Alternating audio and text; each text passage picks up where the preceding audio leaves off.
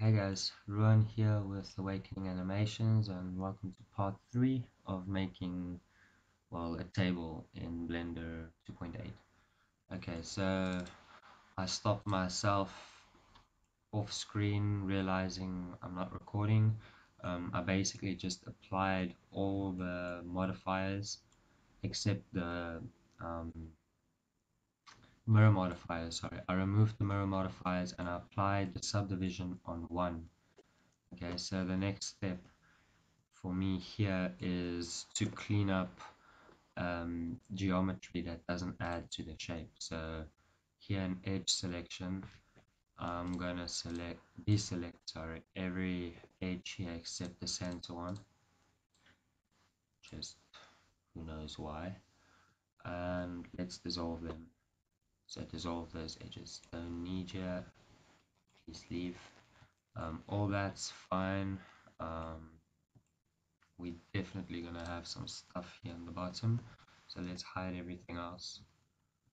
Um, so finally, not really. Um, myself, I mean, to make this even less blocky, like you see here we can see it. I would even add another one just on this and then clean it up again. Um, then we need to clean up some of the bevels but this is fine for tutorial purposes and we're keeping it low poly. So this piece done. Um, let's select it. Alt H. Um, deselected sorry. I hide this piece now that we've finished it basically. Um, here Let's go back into edge selection. We do not need any of that. And up here, what's happening? Don't need that either. I don't even think we need that edge. But maybe we'll keep it there for shading purposes. Let's see if this does anything crazy to our shading. Looks okay to me, so I'm gonna do the same in the bottom here. Remove those three, don't need here. Uh, that's not very funny to me. So I'm gonna remove that as well. We might need to unwrap that again just to make it pretty here it seemed to work out fine. I don't know why that one ended up where it was. Anyway, we're gonna remove these ones. Uh, that, that, that, that, that. Mm, yeah, same here. So I think I might have removed extra on this one. So let's keep those top ones just for shading purposes. Um, that's good. So we just remove here. So reduce geometry there. Here we're going to do the same thing. We don't need that. That. And there we go. So we don't need that. And that reduces some crap here that we don't need as well. So dissolve edges. Uh, where'd you come from? Hello? What's that? Ah, okay. That's the grid line confusing my ass. Uh, we don't need that. Um, yeah, so I'm left here with two hinges to work with. Um, let's just go to this one quickly. We definitely don't need you, but we do need you finally. Okay, I'm fine with the hinges. Um, they're not that high geometry, so it's fine for me. Okay, so we're moving back to this part here. We're not going to have much to do here because all of this is contributing there um, to the geometry. The back here is pretty much the same. Okay, so we're not producing anything there. So that's about it. We reduced all the geometry we need to reduce. Bring everything back. Uh, we need to check this um, piece. Uh, the one that doesn't have a seam anymore. Let's this one here okay so we might have something something funky happening here so what I'm going to do is look where this edge is here. Let's don't, don't do that. Okay. So it's that edge which is right on the top here. It's this one.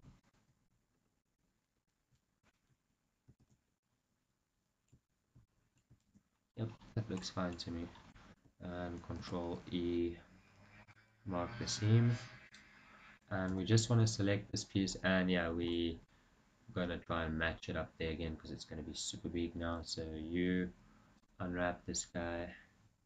We might have some edges to straighten and it doesn't look like we do which is great. So rotate 90 I said 90 ah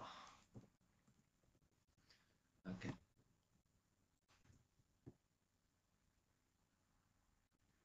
okay so there's definitely some stuff happening here. Um, I think I did this did this before which I'm not sure it's a great idea but anyway.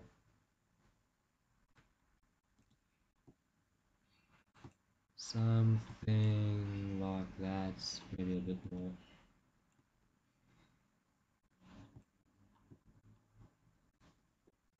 Hmm they look off to me. I mean these two should be the same. Something's wrong. Um, let's see what happens if I unwrap this guy. Does it get the same shape as this one?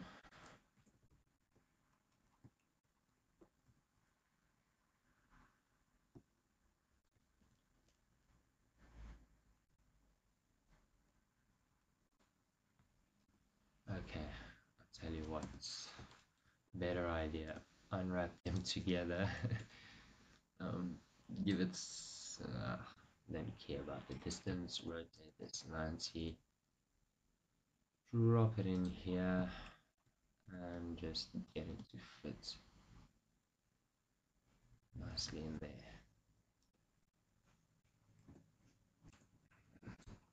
Okay. So there we go those pieces might be taking up quite a bit of space. So let's take them a bit down. Something like that. And that maybe allows us to bring the leg up a bit which is already taking up quite a bit of space if you ask me. Um,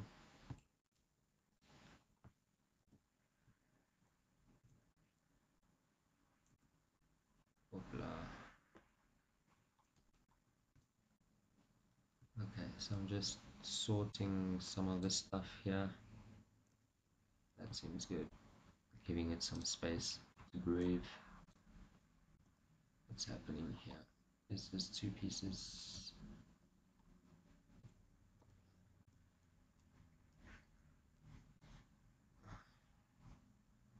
Ooh. we want you guys both of you and all of you anyway let's not get too worked up on that. So there we go. We've got our table and now we can get to unwrapping. Okay 10 minutes of crap. Uh, there we go. So there's going to be two methods to do this. For both of them you do need add-ons. Um, they're free. So the first add-on most of you guys would know it's node wrangler. Um, we're going to use this for the one method okay. And the other one principled baker. So this one's free as well. Just put it on google. It's made by daniel engler. And yeah it just bakes all inputs of a principled bsdf to image textures. That's great. Okay so just get those save it install it and let's get cracking. So we know here we've got a metal and a wood okay? And we do now have one object here as well. Where can I name this guy? Now just name it table. And yeah so shading. Um, I do have a light setup and stuff just to show you guys here. So maybe a bit more than needed but I've got a few area um, lights on different angles maybe some colors on them and then just the camera. And I've got a world setup as well. So if we go into this here this is my world setup and yeah we we also did a material for this floor as well. Okay so let's get back to action so sometimes this thing does that. I don't know why. It's like I just need to replug color. There we go did something there. Okay.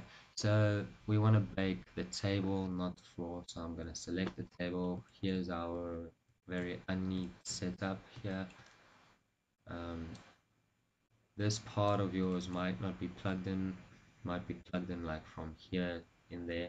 Just make sure this is plugged in. Here it's our overlay with some smudges here I believe. Yes. I mean screen. Okay so in this section I'm going to show you the method I would have used before um, because it's really fast and um, nice. So I would use the node wrangler and I would bake the color and the roughness using the output of the node wrangler and then if you want your normals or height or an ambient occlusion you'd have to use the normal blender way which we'll go through now okay so with node wrangler we can control click and select something and it's going to show us only that um, output. So now we're not getting any of the glossy, any normals, nothing. We're only seeing the color. Okay, so then what I would do is I'd go make sure we in cycles here, go into bake, and I would go to emit because basically with Node Wrangler, when we're viewing something, it's got an emission viewer node here, and this is what we're gonna use basically. So it's an emission, so we're going to do that. And when we bake in Blender, and I didn't even know this until quite a while ago, but your sampling, your render sample, samples are what samples your bake. So the higher the samples, the better quality of your output image. But with the emission, we don't need much samples to, to bake and as you'd imagine if we're putting a color here like to bake the color uh, diffuse we'd need the samples to be quite high to capture the right details and it's going to take a very long time. But if we use the emission I can drop this on 5 and um, the next step with Blender's way of baking is to bring is to create a new image first. So we're going to bake this at 4k 4K. and we'll just call it baker. And we don't need an alpha so so there we go that's called baker. Now we bring in an image texture here. Where are you where are you? Image texture grab our baker. And that's it make sure it's selected. And we just hit bake here so bake no image found in material wood. Okay here we are. Want to bake that? Emission to this. Let's see what we're gonna get. Okay so what that error was was related to um, the metal. So if we wanted the metal here we should have done that as well. So we can just copy this guy quickly and go into our metal here and just drop this in here as well. Make sure it's selected. Go back to the wood that's fine. And let's hit bake again.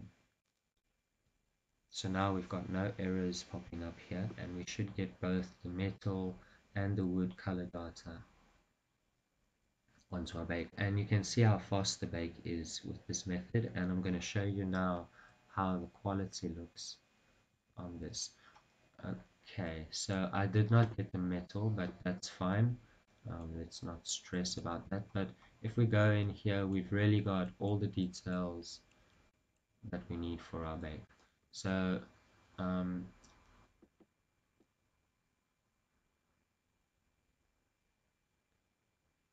let's uncheck clear image. Okay and I want to go onto the metal now. I want to bake the metal.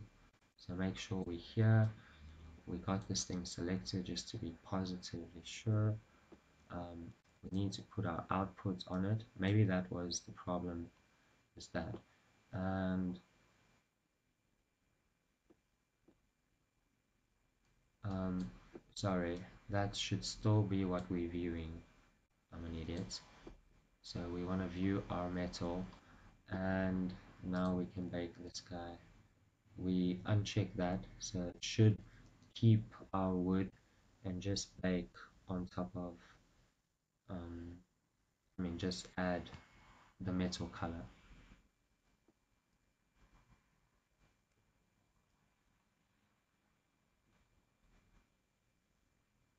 Okay so we did get a metal color but we've got white here for some reason. Um, let's double check everything I can see it's showing up white here as well and there it's like we've got a problem again. So now it's showing up gold again. Uh, let's view it with node wrangler. Show me node wrangler. Okay so this is the problem we're running into over here. Node wrangler can't view from this point here seems like um, I can view this guy and then I can view this but it's just doing that which forces us to take the color I think. I'm gonna try and bake just like this but I think it's going to give us a white again.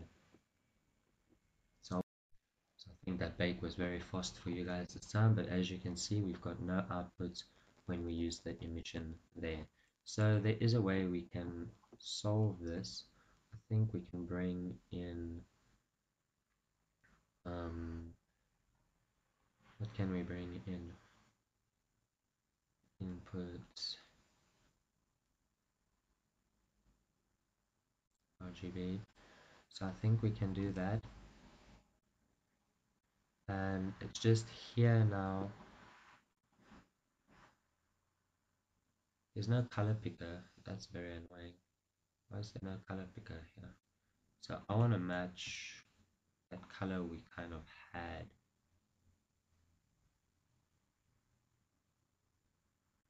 I don't know. That should be fine. So now that we've got that we can run our viewer into this and we're going to get that. Um, that's perfect. Select that. Hit bake okay so there we go problem solved. We've got our color for our metal there and that's perfect.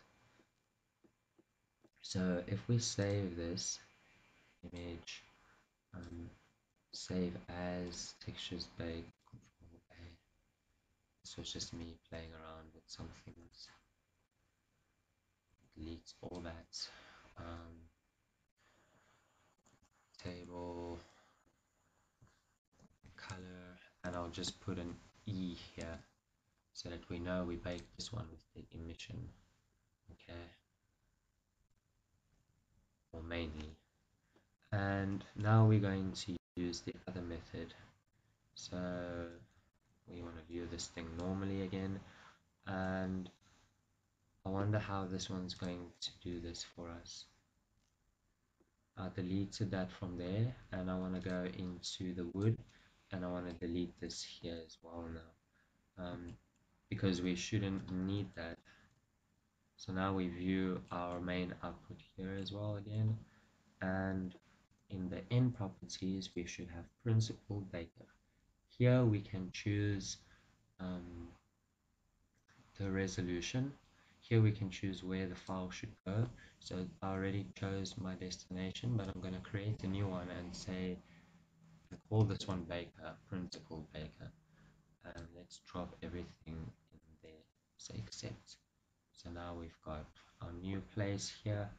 Um, here it shows you what it's going to name everything. So we've got a color, metal, rough, etc.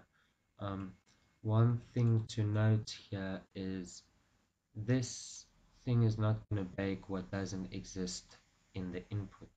So, for example, we should bring in value maybe for metallic so that we can keep it on zero. Okay? That way it's gonna know to bake an image from that. Um, specularity is 0.029 so let's copy and paste this guy 0.029 and let's make sure that nothing's changing on our model. So now everything's the same. That's great because that's what we need here and we're going to do the same in the metal quickly. So in the metal we've got a color now. We sorry I pasted that with control V. We've got a value making sure it's zero our metallic here is going to be one because this is a metallic value okay? Then we're going to shift D this guy. Our specularity 0.5 like that. Roughness 0.41 so let's duplicate that. 0.41 and let's drop that into the roughness. So for this we don't have a normal map um, if you wanted we could just drop in a um, texture something like a noise view it here on this thing. Uh, we're gonna need to bring in texture coordinates like that with um, generated on and we definitely to scale this something crazy a lot a lot a lot. Just to have some variation there. And um, we can take the detail to 100 distort it slightly not too much. And now we want to view the Fac here because we want the black and white. That's perfect. And this we're going to drive a height map with but not much at all. And I still think we need to scale it up 500 800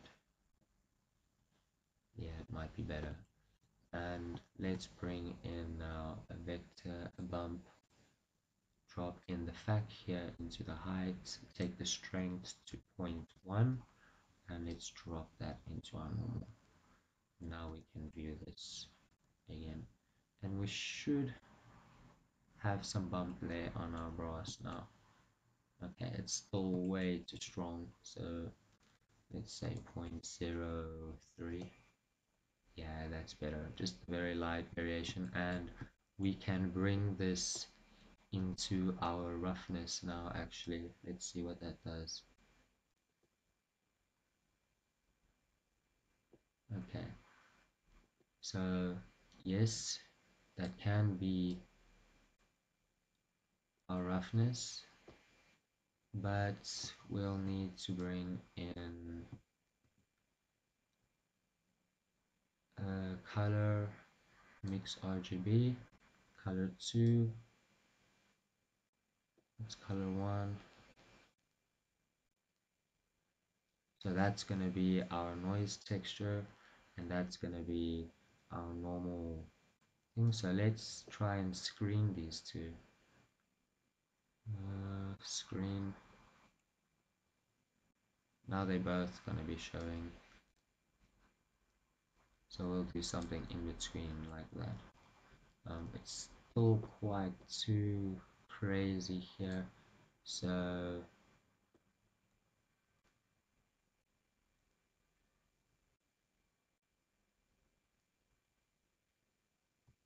let's work with this value here.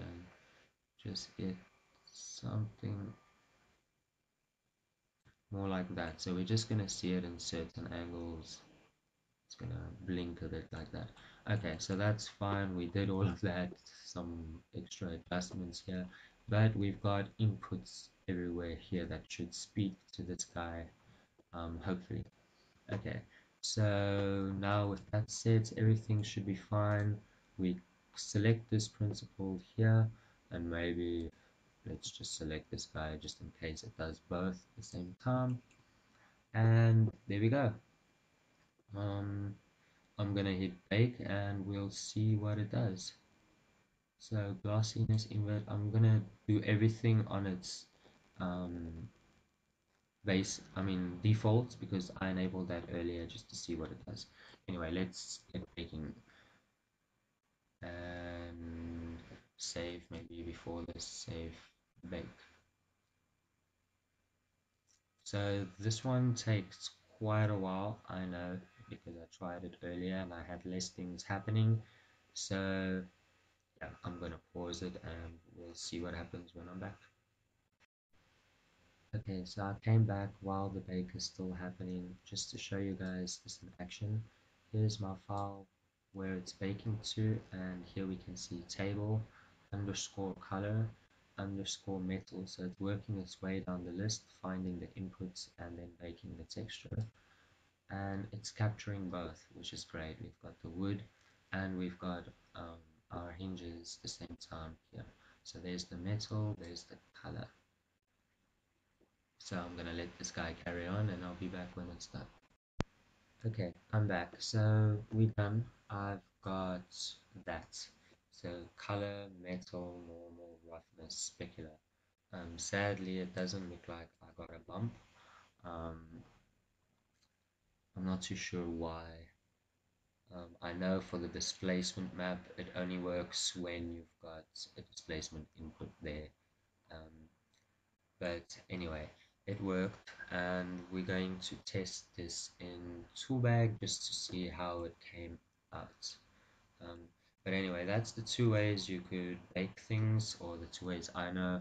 The principled baker takes a very long time, but it's as long as I think Blender would take doing this, and you'd waste time trying to set all of this up and stuff. So it's a really nice add-on. I like it, and I'd be using it more often in the future. Anyway, we're gonna test this in Toolbag right now. Okay, so let's finish this up. We're obviously going to need an export of this table. So let's go File, Export, FBX, Selected Objects Only, and let's drop it with our textures here. Um, name it Table, and I realized I just messed up, but we'll fix that quickly now. Table, Export. So we're going to re-export this now. The first thing we want to do here is we just want one material now just one called wood let's call it table now. Um, and yeah so now we can export this export fbx now that we've got one material there. And there we go. So now I'm gonna load toolbag here. Where are you? Toolbag. Nah. okay hang on. I have to do that Okay, so Toolbag is really fun and quick.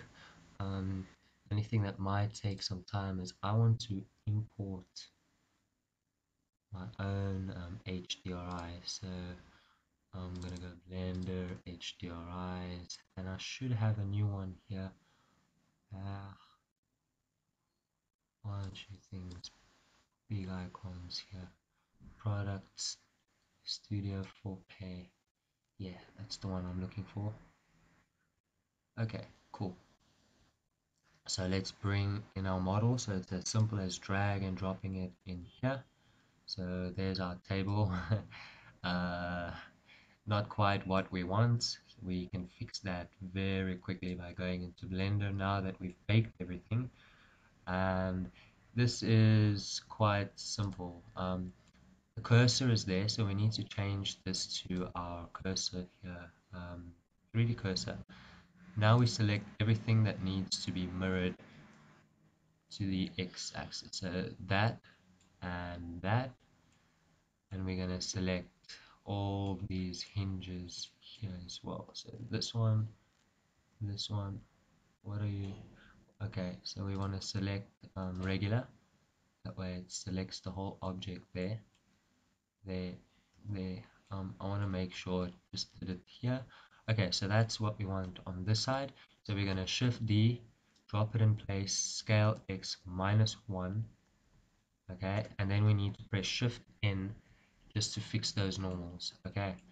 Now let's quickly do this one which just needs to go across and the same with our hinges here okay so then that's uh, and our legs sorry. So legs shift D drop it in place scale X no sorry. Uh, let's undo that. Scale Y minus 1 and shift N to fix the normals. And now we should have our completed full-on table here. So let's quickly export fbx table. Done drop back into marmoset here and look at it just update so nicely. Uh, okay so there are some problems here. Go back into blender. Things are not showing up well. So a shift n again just to make sure something's wrong with this piece here. So I'm gonna hit. Haha so that explains a lot. I'm gonna delete that. That part didn't um, copy properly. When we selected it it didn't select this bottom face. So shift D scale X minus 1 ah 1 shift N. Fix those normals please. And I see some hinges that didn't mirror. We didn't select these ones to mirror them across there either. So shift D scale Y minus 1 okay so shift N. Now that's looking better. Okay sorry about that guys. File export. Anyway if you guys run into these kind of problems you'll know how to fix it. So back into toolbag updates very nicely. We've got everything so let's delete this default. Here we've got our table material and we just drag and drop those big things. So normal map in you go. Um, we've got a table color. Um, we've got a specular. And the thing here is that it's using um, a gloss map. So we're going to take our roughness and drop it in there and things are just going to be wrong. We need to invert it and that is what we're looking for. So here we are marmoset toolbag um, so that's a really strong light there. This one's a bit better. So there we go. We've got our metallic pieces. Everything is looking nice. Um, here you can see how hectic this bump is but all of that can be changed. We can bring the glass up or down put it like 1.5 I think to give it less so it didn't work anyway. 1.5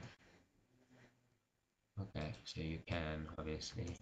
So um, we can bring the normals down somehow we should be able to. Uh, okay obviously I can't. Can bring the intensity of the specular down. It's not doing much it's only working It works. We've got a Fresnel slider here.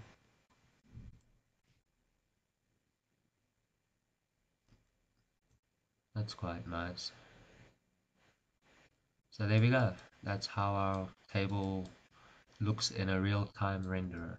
I hope it's useful to you guys and yeah, we'll be doing more projects in the future where we're gonna do the same workflow